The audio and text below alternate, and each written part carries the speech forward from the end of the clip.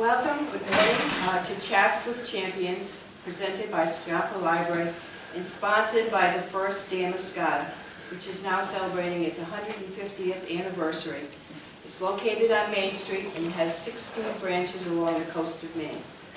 At this time, I would like to ask you to uh, silence your electronic devices or shut off your phones. And I'd like to thank our videographer, Mal Gormley. The word, he videos this. And uh, you can always see it on YouTube or uh, on our site. Our next Chats presenter will be Reja July on Thursday, December 4th, right here in the Porter Meeting Hall. The topic will be our immigrant neighbors. It is my pleasure to introduce our speaker today, David Kramer. He is a retired United States Air Force colonel whose 31-year career included enlisted service, combat tour as an F-100 fighter pilot in Vietnam, nuclear alert for NATO in England, and two tours of duty as an attaché in U.S. embassies in Nigeria and Algeria. He also served as executive officer to the Vice Commander-in-Chief of U.S. Forces Europe, a division chief in Air Force plans for the Middle East and Africa in the Pentagon, a base commander of an Air Force base in Korea, and as chief of Foreign Liaisons Division of Defense Intelligence Agency, also in the Pentagon.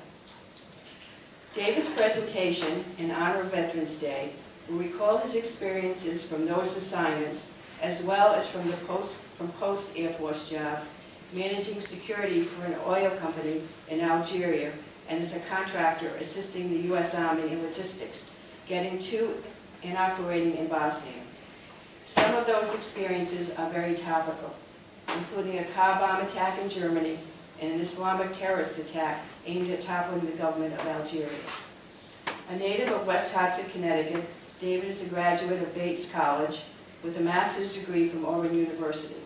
He's a distinguished graduate of the Air Force Command and Staff College and a graduate of the Naval National War College in Washington, D.C. David and his wife Vivian, a flight attendant for United Airlines, moved to the Mid-Coast in 1999 and our residents of Nobleboro. It's my pleasure to introduce David Kramer.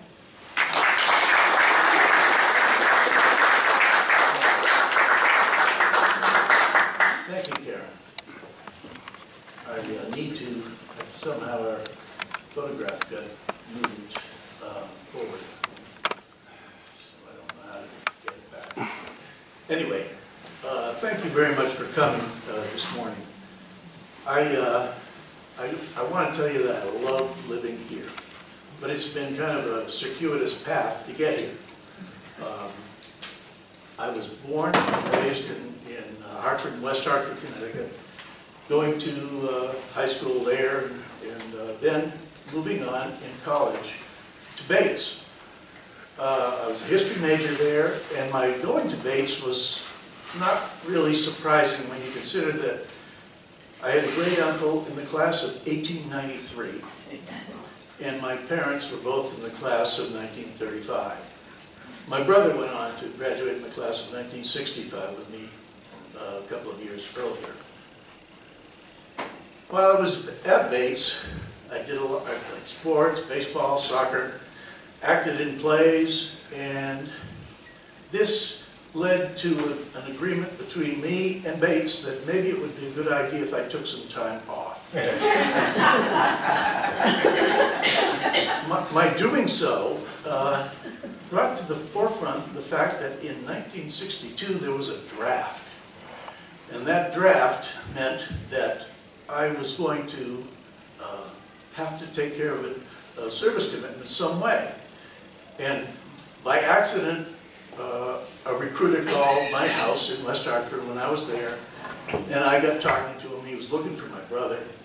But we got a deal going where he says, hey, with all that college you have, Dave, you'll just go right into the Air Force, be enlisted, and automatically put into what they call the Airman Education and Commissioning Program. So you would, would go, go do your basic training, then be whisked off somewhere to be sent back to college to uh, get your final semester and graduate, and then go to officer training school, getting a commission. Wasn't true. What a surprise. so what I ended up doing was going to basic training, going through it, doing the best I could, and, and discovering the strange thing that I absolutely loved it. I really, I found it was like a calling. I just felt like being in the Air Force at that time was what I was sort of meant to do. Recall that my father had been a uh, high school and college history professor, and the lesson was very well taught in our house that we owed a lot to this country and we were very fortunate to live in it. So the idea of uh, maybe coming to service in the Air Force was not such a stretch for me. Anyway, here I am in the Air Force, no automatic anything.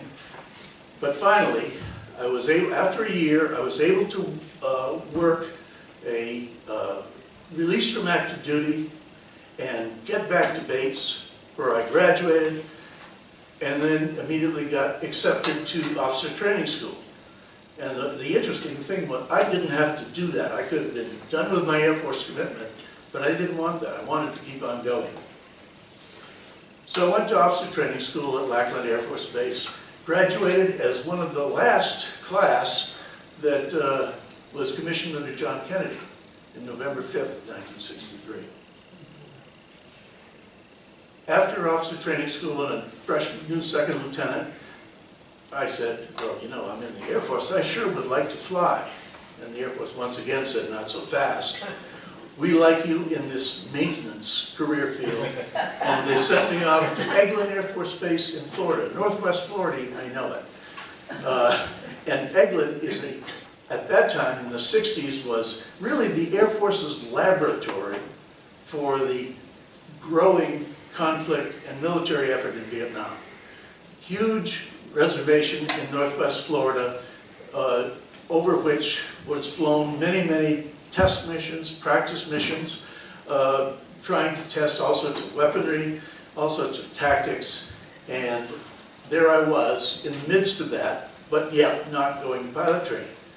Happily, uh, there I was at, in Eglin, and I got an opportunity in, so I think it was in 1966, because I worked, I I had started working for the commanding general of the center, a two-star. I got a chance to uh, hang around at test operations, looking for a ride. The guy who ran that thing was a guy named Lieutenant Colonel John Deutschendorf. He had a son who was pretty successful as a musician, but he took the name Denver instead. But, so Deutschendorf helped me get a ride. I got fitted out with a flight suit and everything, I felt pretty cool. And as it happened, I got in the back seat of an F-100. That, uh, that ride, I kind of fell in love with the airplane, the adventure of it all. I thought it was the coolest thing I'd ever done, and that was what I wanted to do. So the rest of the time was, let's get out of here, let's get to pilot training, so I can see, compete for an F-100 assignment. The commanding general kind of liked me, I guess, because one day we were having a chat about a visitor in his office, and I mentioned that he started telling uh, pilot stories, and I said, boy, I really want to go. And he just turned around to his call director, picked up a, a, but, a phone, punched the button of the personnel director for the Proving Ground Center and said, and I quote, hey, Nick, young Kramer wants to go to pilot training and I think he should go. Plunk. By the time I got back to my office, I'm a first lieutenant, the colonel was waiting for me. And the, my uh, application was soon done, and I was off to pilot training. Pilot training, uh, and once I found out I was going to pilot training, I immediately had to buy a Jaguar XK. You know, I, well, I was gonna have flight pay. Here's the way to get rid of it. So the year of 53 weeks began at Moody Air Force Base, Georgia, and involved 30 hours in something called the T-41, who many of you who have aviation experience will recall as the Cessna 172. The Air Force used it to inex inexpensively get rid of the people who just weren't cut out to fly. So I had 30 hours in that, including a first solo, which was very exciting. This is about the same time as the Six-Day War, to put it in, in 1967. So let's uh, would keep it uh, oriented with time. I went on to uh, finish that uh, tour, then the- we moved to the, the small twin-jet T-37 made by Cessna. It was called the Tweety Bird, and it was like a 6,000-pound dog whistle. It was trem- tremendously loud, and we were very careful about putting, uh, wearing ear protection as we go to and from the flight line before we started. Uh, Whether my hearing really got damaged by that, I don't know, but if you ask Vivian, I'm sure she would indicate that, yes, maybe, maybe it did. But, uh, so the T-37, first jet solo, they throw you in a pool and all that sort of thing, pretty exciting. And then uh, 120 hours in the T-38 jet Talon. And this is a T-38, which is uh, supersonic and uh, all sorts of much more advanced formation, night flying, etc. And finally, I graduated high enough in my class to request and get an F-100 assignment. And so it was off to uh, Luke Air Force Base in Glendale, Arizona in June of 1968 to, uh, with my new shiny wings on, to go and start my six-month training to use an airplane for combat. Now, uh, I had a picture up there beforehand and got switched off somehow. Uh, But let's just move on. The- airplane I'm going, going to talk about is, is this one, the F-100D. And we trained uh, in this, this version, which was preceded by the A, two A models, this one and this one. Those A models, I guess I should stay over here, but you can see the short tail on that one and the longer tail here, neither of which was sufficient to keep it from killing a lot of people. Uh, By the time the uh, F-100C came along, and that was the one we were to train in, uh, things were much, much better. Here's the class I was in uh, at uh, Luke Air Force Base. That's, uh, that's the me. And uh, the instructors are along here. The great Skipper Webb, who was the, uh, our flight leader, my instructor pilot, Jerry Salome, both of them uh, who have- passed away now. And one, and the, the student class is right here. And uh, Charlie Mansky is one of the guys who uh, was lost during our tour in Vietnam. But meeting the F, uh, meeting the F-100 and uh, getting together and going through just class after class and mission after mission as they introduced going to the gunnery range, their refueling, night flying, night ground attack, and all of those sorts of things uh, until we were to graduate. But as we, uh, as soon as we got there and got our first flights in the F-100, the- the immediate thing was, well, we've got to take a hero picture. And sure enough. So we go out and uh, took a photograph in front of uh, an airplane. At the end of these training missions over the Arizona desert, this is in Glendale, the Luke Air Force Base is in Glendale, west of Phoenix. And after that was over, after you'd finished the, uh, uh, your flight and you'd done what you had to do, if you had some fuel to burn out on the way back to Luke, we did it in one of the most fun things I've ever done, and that is that. Oh my God. We'd get, just get down low over the desert and hammer, just go fast. And this, you'll notice too, that this is the F-100C, which we trained in. See, that's the small thing on the uh, tail, and this did not have any flaps, so you flew final approach in this airplane at 185 knots Yeah. plus fuel. So two pound, for every thousand pounds of fuel, you added a couple of knots. That was, uh, kind of exciting. But but at Luke, at Luke, it was not a big deal because you were in the desert, the weather was perfect all the time, which was ideal for getting you training, except for the fact that you need instrument training as well. So that was big fun. Let me show you the, the airplane, as I mentioned, we're learning how to use it as a weapon system now, though. And the F-100, when it came in in the mid-50s, was as diverse as you could get at the time as a weapon system.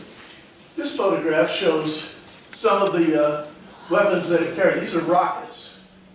No, no really inaccurate things. They're very sensitive to G-loading if you fire them. Here are the four cannons, which are M39 cannons, 20 millimeter cannons. There were four of them, two of them in the two-seat model, but four of them. And then these up in here, we'll talk, talk about later. These are what we call shape charges that, uh, those aren't real ones, but they are the nukes that this airplane was uh, able to carry. And I'll talk a little bit about that later when we get, get to England. The, uh, the things on the wing, that, those are fuel tanks. And uh, there were four stations, outboard and inboard on the, on the wings, and then a satellite station, which we didn't usually carry stores on. But that was the airplane as it was uh, set up, all the weapons. That's a publicity photograph the Air Force, made to show its versatility. This shows the gun being loaded by one of the crew chiefs, and in, internally, the gun had a total of 800 rounds loaded, and at the rate of fire, uh, with 800 rounds, you had about eight seconds or so. That's all. Yeah, two, 200 rounds per, per gun, and they'd fire together, and as you, if you were firing the gun, you pull the trigger, and you, it would be just that kind of a, a feeling, big vibration, and your, the pipper on the screen would dance uh, to show, and you soon see the, a few tracers, and you see the explosions, that the ammunition were uh, high explosive heads. On the way, having graduated from the F-100 school, uh, the next, the next job was to prepare yourself for the orders I got, which was Vietnam. And there were three different survival schools en route. One was a regular survival school at Fairchild Air Force Base, Washington, which involved a three-day prisoner of war experience, which was very, very effective and convincing. I, these were Air Force people who you were convinced were North Vietnamese and that uh, they didn't like you very much and they subjected you to all sorts of uh, training and, and stress positions, shall we say, to get you ready. And what it did to, for me is say, I don't ever get captured. the next one was uh, sea survival off Homestead in Florida, where you learned how to come down and deploy the, uh, your, your raft and get into it should you be shot down over water, which was the, the desirable thing. If you were injured, or you were going to have to bail out for some reason, get feet wet, as we said, and do it there, and then at least the enemy wasn't going to get you. Our guys uh, almost certainly would.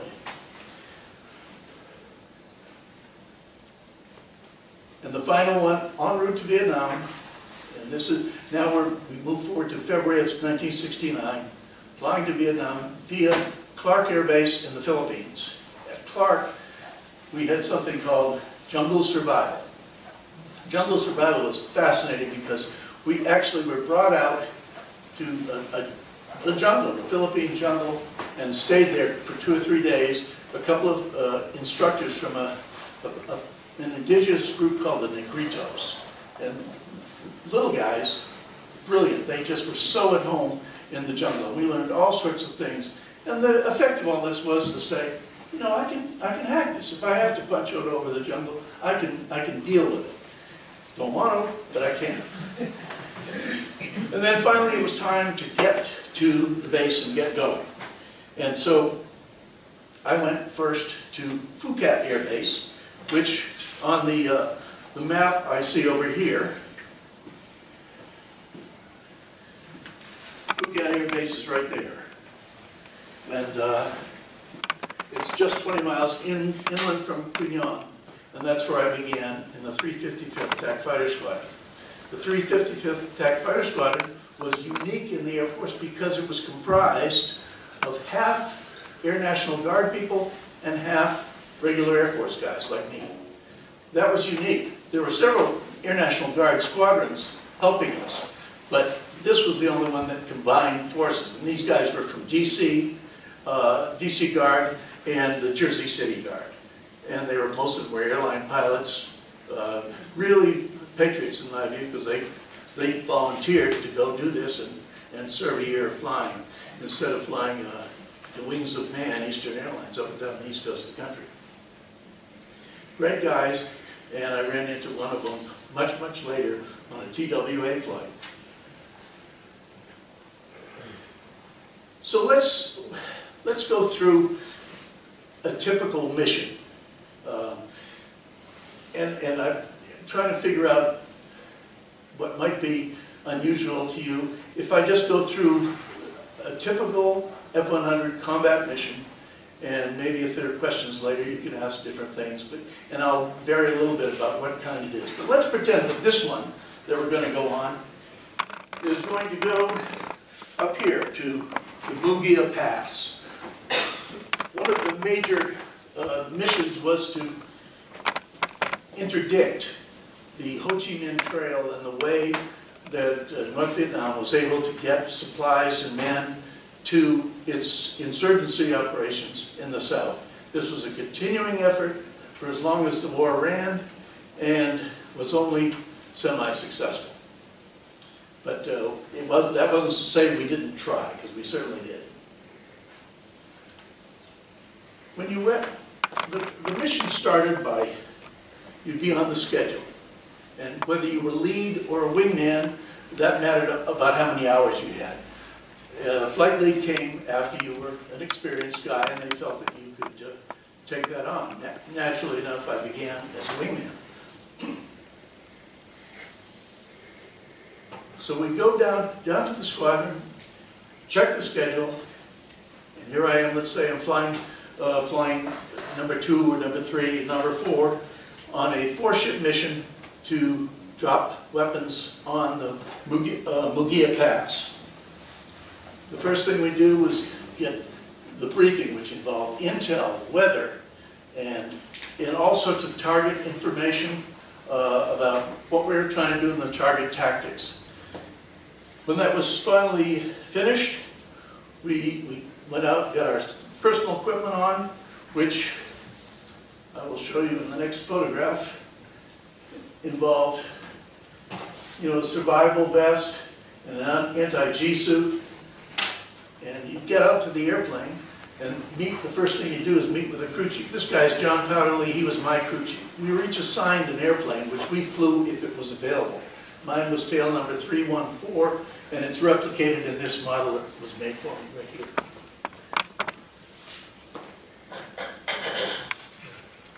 So the airplane, as, as you saw, was in a, uh, kind of in a revetment to prevent it from uh, attacks from uh, the enemy. And the first thing you did, after you did the, the pre-flight, and here, wait a minute, yeah, this is a pre-flight of my airplane, me doing the pre-flight, and it's a photograph that I didn't know existed until April of this year.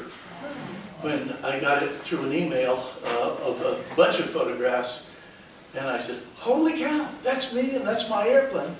And, uh, and sure enough it is, Uh, I'm doing the pre-flight, this is at Cam Ranh Bay, after I'd flown down for a, uh, a uh, static display for the Assistant Secretary of Defense one day, so I'm getting ready to go back and join the. But it illustrates the walk around that you did in a pre-flight.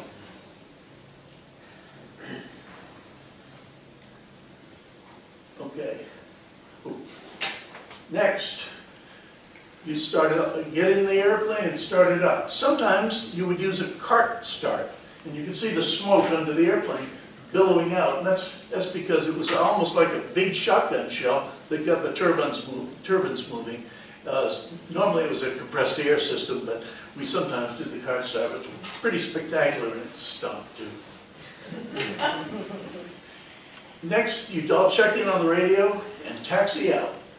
And then this one is taken in the Army area. Here you can see uh, at the end of the runway, the, the bombs that were loaded on the airplanes were not armed until just the last minute. You can see the, the weapons guy down here uh, doing the arming.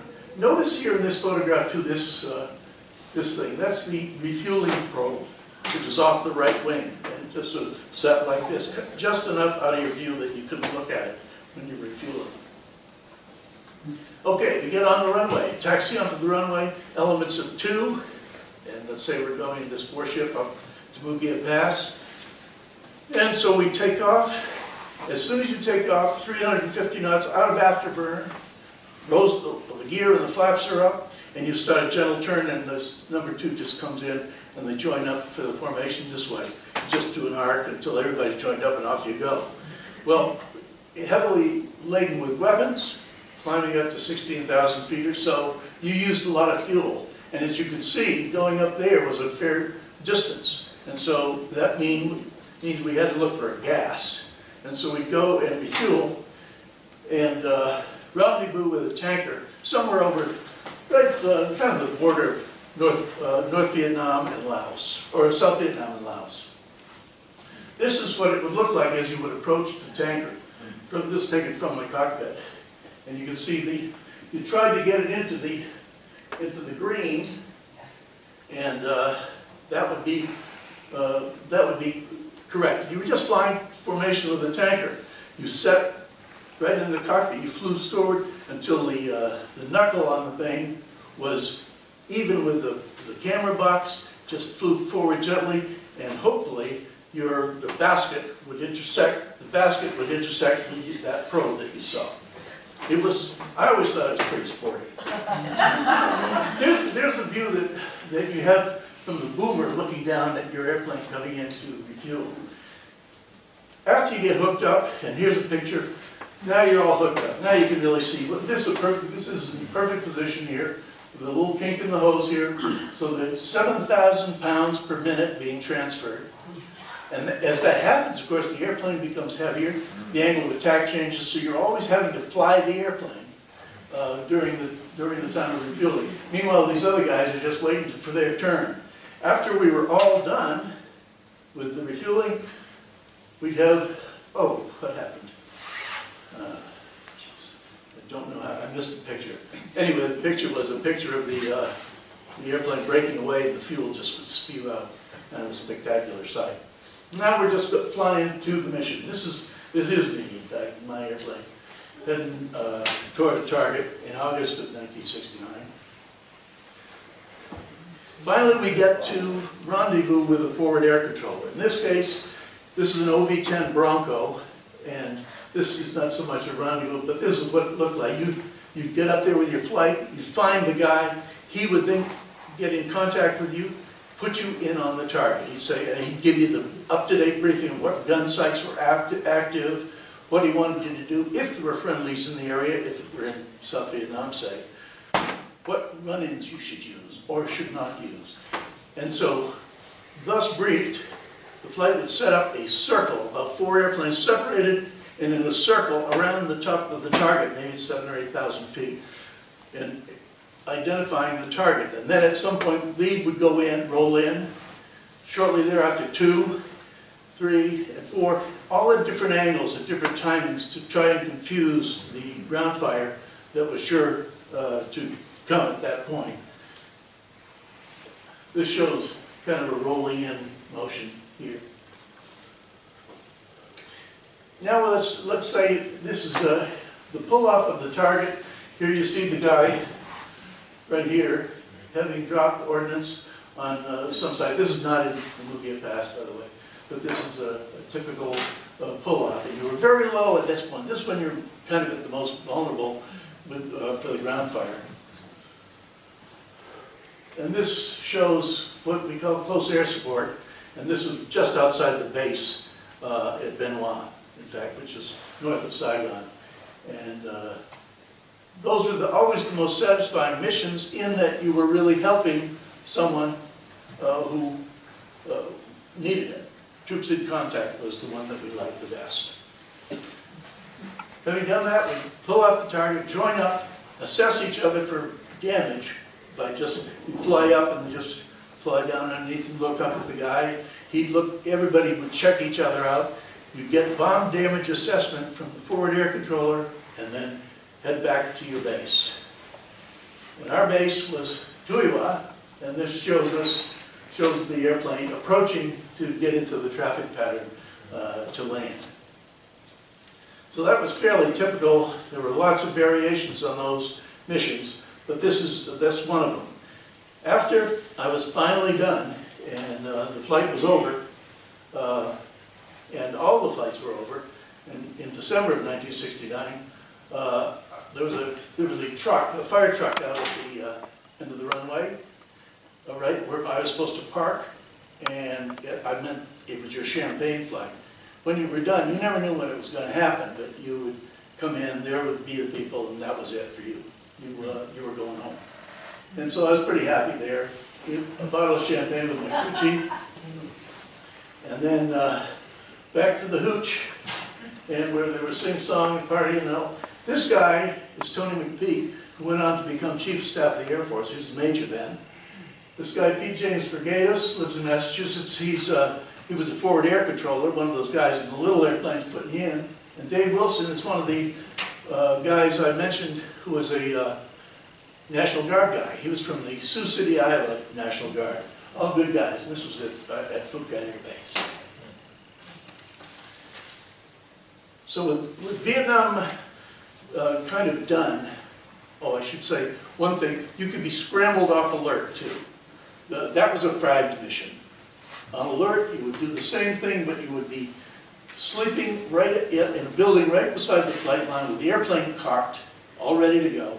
And then when the phone rang, that meant there was troops in contact, or you, they needed you. And you'd race out, get in the airplane, and get off the ground. You hoped within 10 minutes after the bell rang, rang. And you might have been asleep too. That would happen, rain or shine, day or night. And it was very, the most exciting flying, I think, of all was the alert, because you knew you were responding to somebody who really needed you. My assignment following uh, Vietnam was to England, NATO, the the 492nd TAC Fighter Squadron at RAF Lakenheath in East Anglia. That was a, uh, a great assignment and very, very different. One of the first things about England is the fact that there's a lot of weather. And within a month of my getting there, February 1st of 1970, uh, I was on the wing with a guy named Larry Wagner. We took off, flew, and even though the weather was kind of dodgy, the wing wanted to get the flying in. They needed to get the flying hours, and so the whole wing was flying different missions. And we were doing something, and all of a sudden we hear weather recall, weather recall. And so we arrived back at what we call the initial approach fix, which is just about at the edge of East Anglia and, and the North Sea to make the long approach down into Lakenheath. But we're starting to hear that there are other airplanes further away who have less fuel than we do, who need to get ahead of us. So we let them go ahead. They sequenced into the holding pattern ahead of us. And to make it shorter, by the time we went down, we were pretty skosh on fuel too. And the weather had really closed in with heavy rain, and, uh, and it was, radar was losing people in the, in the ground control approach final. We, we went down and were forced to break out because somebody had missed their private, previous approach. It was all like a chain of, of events, and we suffered, and so we were broken out, and I've, I have this picture up here because these are Legacy airplanes, and this, and we were in a, for, trying to do a formation landing, each just to, so there wouldn't have to be two airplanes, uh, landing separately and thus using more fuel. We got down, we got broken out, we crossed the Lakenheath runway, uh, and I could look down and actually see the runway very briefly, and we got picked up by Mildenhall ground approach, and the Mildenhall is a nearby base. We came around and started a, a, uh, a, an approach there. The GCA controller in the heavy rain lost us, and I, this, and, and this is, this, I have this photograph up here because this is my position. I was, as I said, I was a new guy, so I was the wingman. Larry Wagner, bless him, was uh, the lead at that flight, and I happened to be on his right wing. And we are really low on fuel, and we're looking for the runway at Mildenhall. As we came in and got lower and lower toward, uh, toward the uh, minima, nothing, just rain, just rain, and, and we've lost contact. And, and Larry said, pressing the minimums, and I said, yeah, good. And so we, we kept on going, and since I was looking through him, through his uh, cockpit this way, the wingman's all just looking at lead, he's not looking navigating, right? He's looking out the lead airplane. I happened to see through his airplane that strobe, you know, the, the running rabbit we call it, And and they said, I said, lead, left 10 o'clock strobe. And, and he, he looked over, saw it, and he, looked, big huge thumbs up, and we gently cr- crabbed over to the center line and got it on the ground. This was, came to be known as Black Thursday, and no one was lost in this thing. It was a rem- remarkable problem, but everybody got it on the ground. There was some pretty good flying done, and Larry Wagner was one of these guys. Anyway, uh, as he's taxing it in, since we were so close to Lake and we could still get on the radio with Lakenheath Ground Control. And they said, well, Icon 2-1, say your intentions. And Larry said, well, I think I'll just see if we can find a place to park this son of a gun before it flames out. It was that close. You know, I was absolutely convinced that we were gonna have enough to pull up after missed approach and punch out. And then an F-100 airplane was going to fall somewhere in East Anglia in a fairly populous area. When I first got there, there was a saying that said, look, they had a terrible uh, flying safety year in 1969. They said, uh, if you want an F-100, buy some real estate in East Anglia. Right. The mission, the mission at Lake, the mission at Lakenheath was one of, we were sitting nuclear alert, we were maintaining currency for conventional war, but here was a whole new deal. Now, we were sitting nuclear alert, we had to get qualified to do that, of course. The Air Force, and I think our whole government was especially careful about uh, preparations uh, and entrusting anybody to nuclear weapons. We never flew with them, for instance. But you flew low, low-level missions, and the low-level mission would be taken out of, of Lakenheath, single ship usually, flying over toward and letting down over the Normandy coast, flying in at 500 feet above the Normandy beaches, going to Saint-Lô, which was the first turn point, and then a zigzagging pattern over uh, France, using only timing, uh, time, distance, and heading. There was no GPS, none of that stuff, to find a target and pr- practice delivering uh, a weapon on a bridge over the Loire River, which would have been nasty for the wine, but it was just practice. So we do that and come home. That was the, that was the uh, typical training for uh, that kind of a mission. In doing low level though, things could get messed up, and I've gotta tell a very brief story about my close friend, the late Don Smith. And uh, clicking the wrong thing here, here we go. Don, S- wait, what happened? There it is. Don Smith is the guy you see right here. And Don and his, his leader, or his wingman, uh, Tom Hall, were flying a low level in Holland. And they didn't let you fly as low in Holland as they did in France. So it's about a thousand feet and it's pretty hazy, and they happen to fly past their turn point. And in flying past the turn point, and they're flying as a two-ship at this time, but in route formation, and they passed this giant TV tower that, that, that carries all the TV signals at that time, the early 70s, for the Netherlands. And so Tom Hall, who went on to retire as a brigadier general, he said, hey, Lee, did you see that TV tower? And Don Smith laconically replied, see it, I just hit the sun. In fact, he had torn out, he hit one of the guy wires, you know, these big tall TV towers, and he hit the guy wire, tore up his airplane terribly, and in a tremendous feat of airmanship, got the airplane to a base right near Amsterdam called Soesterberg Air Base, Camp New Amsterdam, the other title for it. Got the airplane on the ground where it rested from then on. It Never flew again. But a great job by this wonderful guy who I miss to this day. Anyway, finally, I flew my low level, got qualified, and was put on nuclear alert. And I gotta tell you folks, that that was one of the most profound experiences of my life, though it didn't involve any flying or any delivery or, or even flying with a nuke. But I was entrusted with one. And right at the end of the runway, there was a, a barn with a, with a painted area around it.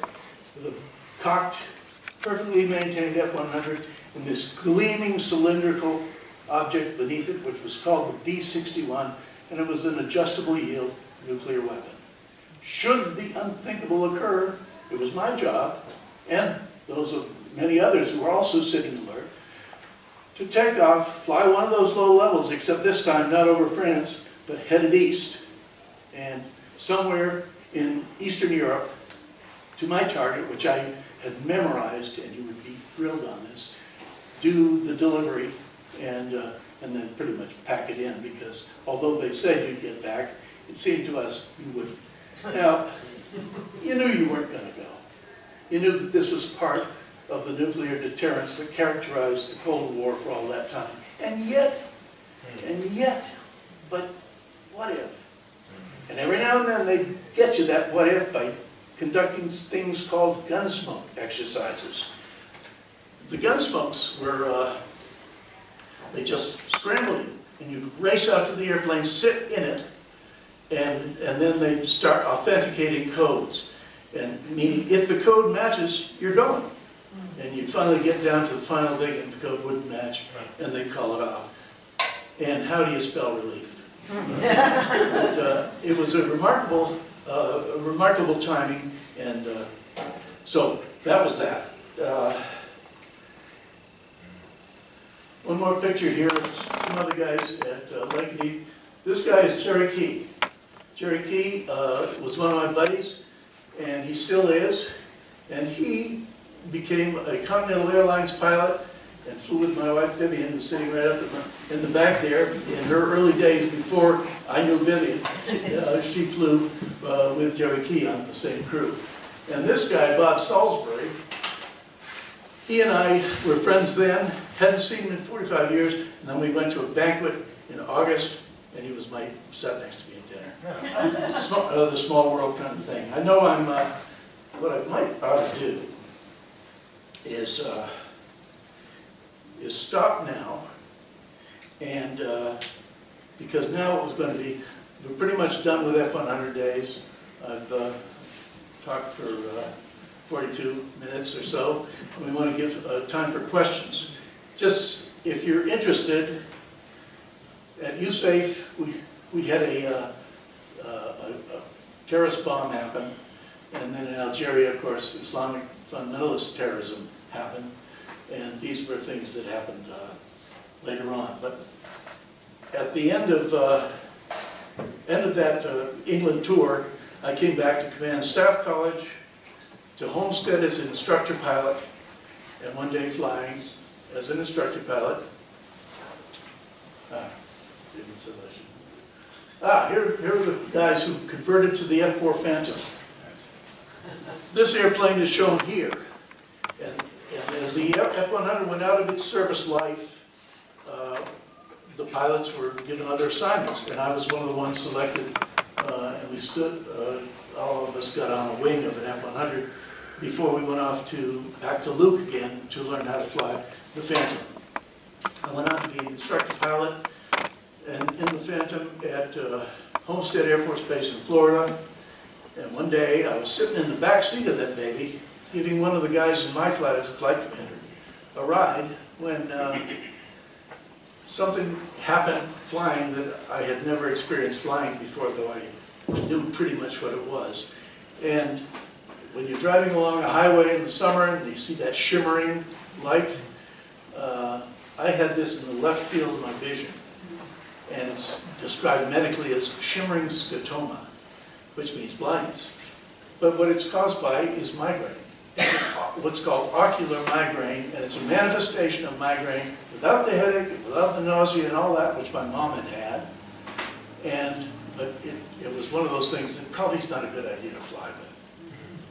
And so, uh, as a result of that, I went to the operations officer and described what had happened in the air after I had taken the airplane from Al Koth, who was flying in front. I said, Al, we're changing the mission.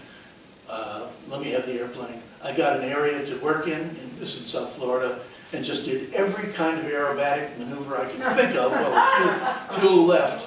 Just had as much fun as I could pack in. Albeit from the back seat, and then came around, and my purpose of being in the back seat was to get a back seat landing, and I sure did. Uh, But I got, you know, just peeking out the corner to make the back seat landing at Homestead, and that was it. Then I went in and said, hey, this has happened to me. And, uh, you know, they're not my airplanes, but they are my fellow citizens on the ground, whatever I might hit if I keep flying. So that was the end of Air Force flying, active Air Force flying. And uh, so that might be a, a good place to, to stop initially. No? Show the pictures.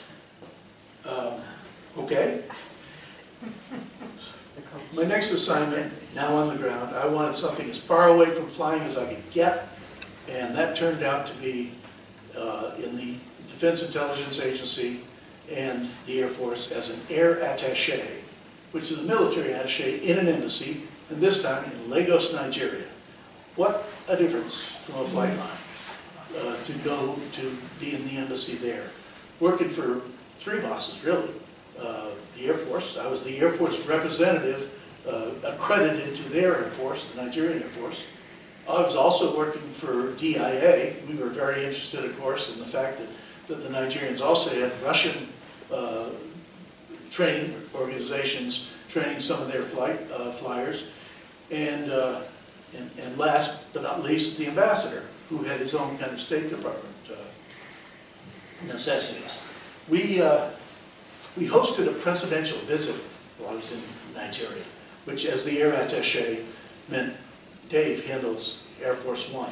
They did send a, uh, a- an advance guy out, and we worked for 30 days to try and get uh, the perfect uh, setup for Air Force One. And it was difficult to convince the Nigerians really that, okay, at 10:30 PM precisely, on this taped spot on this ramp, the President of the United States is going to be standing in that doorway.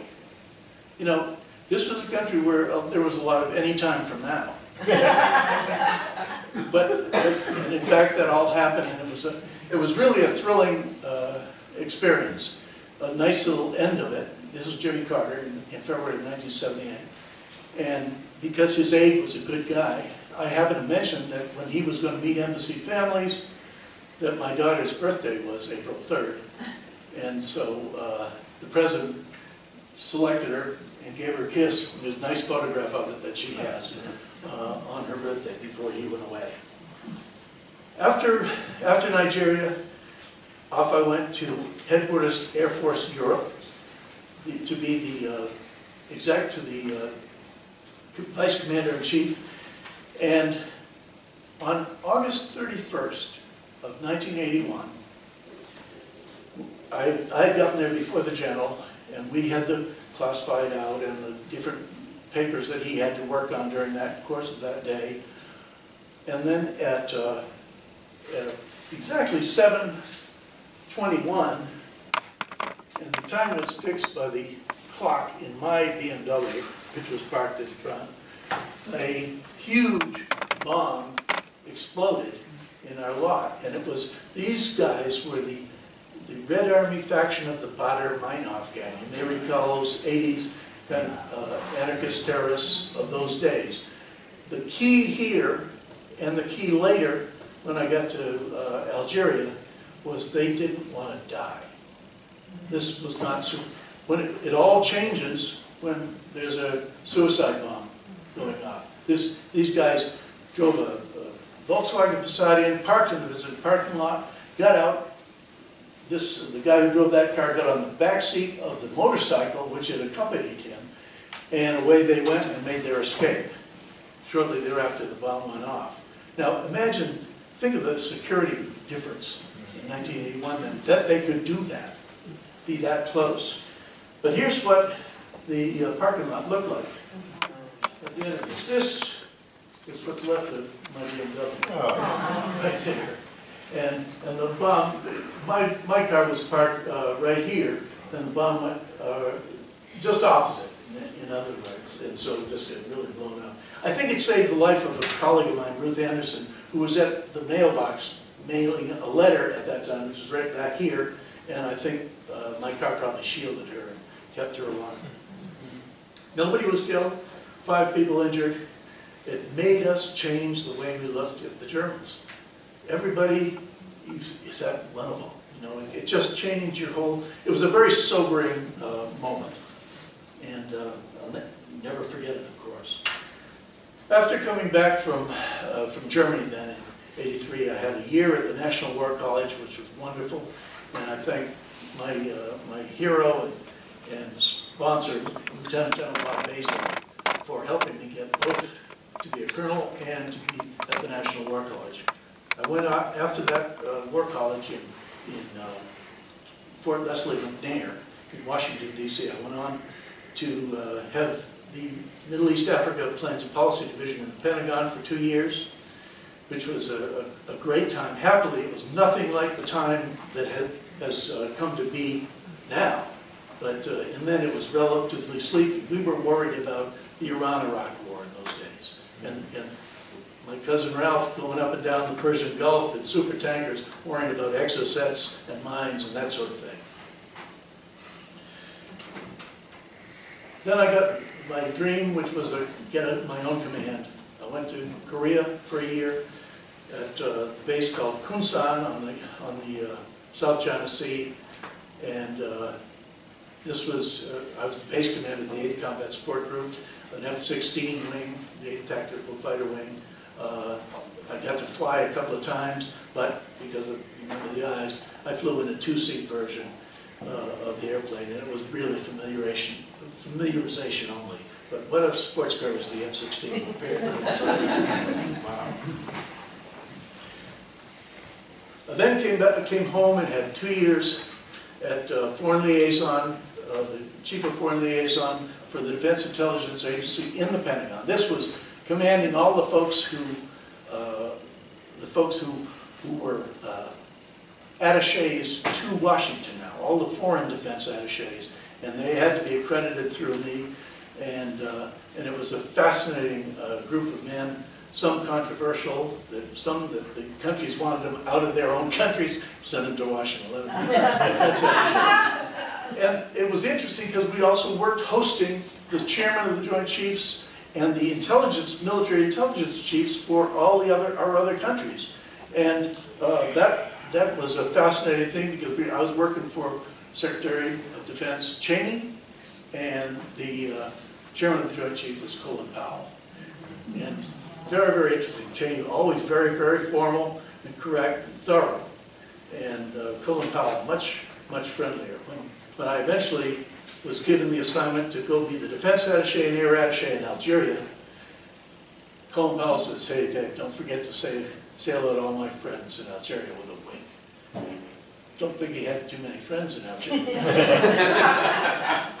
This, uh, a couple of pictures more of the, uh, the bombing, that's uh, out front, out front of the headquarters, and there's another picture from, from the window showing my BMW, and you can see where the mailbox is in the background, that probably say uh, Ruth Anderson. Um, I do have to move along. So, um, my attaché tour in, in Algeria saw the onset of Islamic fundamentalist terrorism there. However, in this case, it was kind of designed to topple what they saw as an illegitimate military government that was not answering citizens' needs. They had opened the door by allowing an Islamic party to compete for elections, and surprise, surprise, they won big, because there was a promise that maybe they'd be responsive, whereas the governmental party wasn't.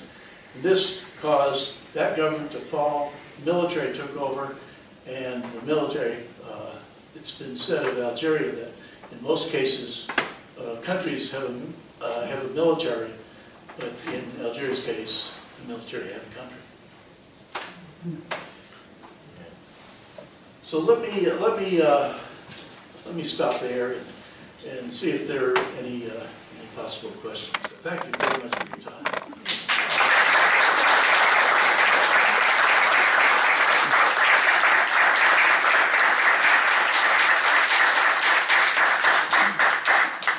Yes, Dick? Uh, Dave, as you were flying those missions over North Vietnam, uh, what was the real threat that you faced? What sort of weaponry Okay. did you face? targeting you. Sure, it's, it's- it tremendously, and if in-country in South Vietnam, when you're flying close air support for the Army, it was largely uh, small arms fire and like 50 caliber machine gun fire. And, which could be daunting because you were down in the weeds with them, and you saw that picture of the close air support. You know, you're really low, and you have to arrive at a straight and level tracking solution eventually. You'd fly a curvilinear approach, but there's a point where you've got to line up and, and put your stuff on the target. And, you know, you just see stuff coming at you, uh, just every now and then the tracers. And you knew there were other uh, weapons, or other bullets beside the tracers. So small, small arms there, but in, uh, in Laos on the Ho Chi Minh Trail, and some of those choke points like Mu Gia Pass, 37 millimeter, 23 millimeter, and, uh, and sometimes 57. I don't think I ever saw 57, but I certainly saw 37 and 23. And 37 looked like red golf balls coming up, kind of like a knuckleball if you're a hitter, just like this, and then going by you. And happily, they went by me. And, You know, uh, uh, let me raise a point here. You got, it's, it's being lucky, not so much being good. There's a plenty of great fighter pilots that uh, that didn't make it, and it's just a matter of golden BBs, really. So the, the, the the whole gamut from 57, 37, 23 millimeter, and small arms fire. There was one particular, particularly awful weapon called the ZSU-23, a four-barrel 23 millimeter thing that would just throw barrage fire lead that you would then fly through. If they could draw the lead on you, uh, and that was, that was a terrifying thing, and happily, none of them got me. Yes, David? That's it? You call it a career? You showed up here for that. I have a question. After you flew a mission, you said that there was, um, you waited while they did a bomb damage assessment. Yes. Is that because you'd go back in if it wasn't effective? You, yeah, that, ha- that happened, but it was unusual. You really, during the course of the mission, the forward air controller and your own uh, viz could tell you if you were- had been effective. And you oftentimes would be heading home all the time, as the forward air controller then gave you your bomb damage assessment, which you then reported to. to And the, the, the mission today you described, Yeah, would that be the same today? I, you know, I don't know exactly how it is. The navigation certainly is easier. A lot, I think there's a lot more single ship missions with stealth, you know, the, uh, the bombers, they're stealthy, and also they have radar guided. Uh, So one guy might be the designator while the other guy looses the weapon outside an envelope and the bomb sort of flies to the target. When you see these- preparation, preparation for the day. Preparation is pretty much, I think that's pretty much the same, yeah. The, uh, what we carried, we carried a weapon, you know, in case you had to punch out, it was a 38 caliber Smith and Wesson revolver. One of my friends needed it and was successful using it, in getting recovered. The the guy was on, on him he got him and then was picked up. Uh, A big thank you to the people who were the air rescue people. They never left you behind. An important lesson, I think, in this day and age, when we look back at people being left behind. They never did, and we counted on them. Anybody else? Yes? David, would you be so kind as to explain the significance of your pin and your lapel? Uh, Okay, uh, that's, uh, it's just a lapel pin version of the Distinguished Flying Cross. Yes. Uh, Explain, You know, that- what? would you explain why you received it? Um, In Laos, the last mission uh, out of Phu Cat Air Base, before we transferred to Phu- Tui Air Base, uh, was a mission, a two-ship mission with Billy Reisman and I. We flew up, he had a, a special kind of, of bombers, you know, horrible weapons when you think about it, uh, today humanitarian sense, but it was to deny passage along the Ho Chi Minh Trail. And he rolled in at a place called Tchepone in Laos and did this bump, bump, bump, bump, bump, dropping them out, and so they all floated down. And then we joined up, and we were gonna just then head back and land in Tuy Hoa, which is gonna be our new home for the rest of our tour.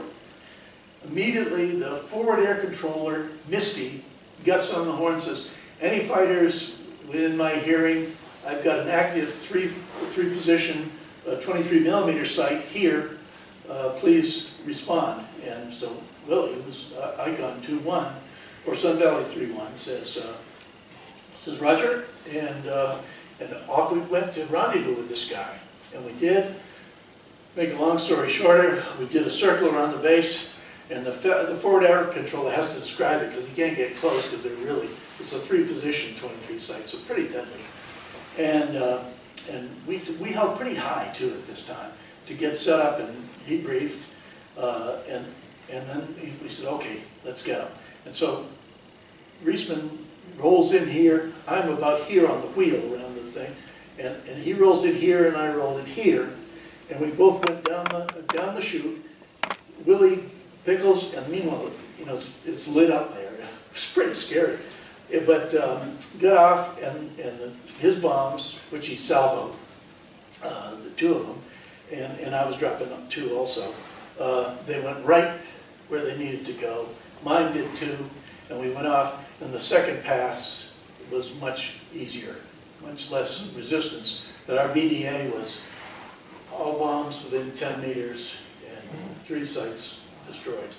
And, and so when, when the mission ended, we landed at, uh, at Tuy Hoa, and a lot of folks came out to say hello. And those are the, our squad commanders who came out. And uh, that was kind of a a very satisfying day. It was all of a sudden the last mission out of Phu Cat, a, a- a successful one that we managed to live through. And we got uh, to our new base and uh, where we were to stay the rest of the time. Yes? What about that caused you to be honored though differently than other missions? Uh, I guess it was just the, uh, the accuracy, the intensity of the ground fire, the accuracy of our delivery, and the fact that we responded without being briefed to what we had to do, and responded quickly and did it, and, and got out of there. So, uh, they wrote that up. What was very nice about that, I gotta add, is that I, that didn't get presented till I got to Lakenheath. And so when it got presented, my mom and dad were visiting. And they arranged, they arranged for it to be presented by our wing commander, a guy named Bill Wisner, who was a World War II ace. And so my mom and dad got to see that presentation, which was kind of cool. The other one, and the other one was a night alert mission off of Tuy Hoa, uh, where it was under the weather, raining like hell, troops in contact, but close air support, the one that we wanted more than anything because you knew you were helping somebody out. And the weather was so bad that they couldn't get the flare ship down beneath the clouds to drop flares by which you could see where to drop. Plus, there was a lot of ground fire. In one of my luckier bad decisions, uh, I said, well, I'll try it. And so we, and Bob Putz, who had just returned from a Misty Forward Fastback tour, came with me, he says, I'm coming too. And so we just slid down, we knew how high the ground was. And so we got, and we, soon we got below the clouds, just with an unguided letdown. Then we could see, and you could see the flash of the ground fire and the fight going on. And the forward air controller, who was down there, was able to help, help us and see us, because I, I, we kept the lights on. Uh, you know, the, just the flashing lights, although that might have been a good idea to turn them off later. But we, had to be able to be seen and for him to see us. Once we got that, uh, that sighting done, then we set up a pattern around there. The forward air controller threw in a smoke rocket, and he said, it's very important that you go on this kind of heading for your run-in because the friendlies are right here. And as I showed in that one photograph, where the, the troops are, uh, our guys are right here. And so we made that, we made a pass, I made the first pass, couldn't see almost anything. And, uh, uh, what a pucker, I'll tell you what. But, uh, but we got the first, uh, weapon on the ground, that lit things up a bit, and so it was easier for the subsequent passes. It all worked out very well for, for us, and the BDA was great. The Army guys were thrilled and, and said so. And, uh, and so we came, came back, checked each other out, and were able to recover it to about, and that is, that was November nineteenth, nineteen sixty-nine, so one day, so the, tomorrow is the anniversary of that one. So what, what is that, forty-five years? Oh my goodness. So, uh, yes, Hey, uh, the, the photograph of uh, you flying in Arizona. yeah, the desert, How, how high were you? probably 50, 30, 50, 30 to 40, 50 feet, something like that. As low, as low as you could go and not hit a saguaro, cactus. And, and of course, there were lots of uh, convection currents coming up from the, the desert, so as you hammered along, it was bump, bump, bump, bump, bump. And it, it was just exhilarating. I- Just so much fun. Just to Yes, put it in perspective, on November nineteenth, Yes. nineteen sixty-nine, the most dangerous thing that I was doing was paying the toll on the George Washington Bridge. Well, I was, I was very, very lucky, and, and just as, as I, I see it, I'm overstayed my time, but let me, let me just show you this, it's always,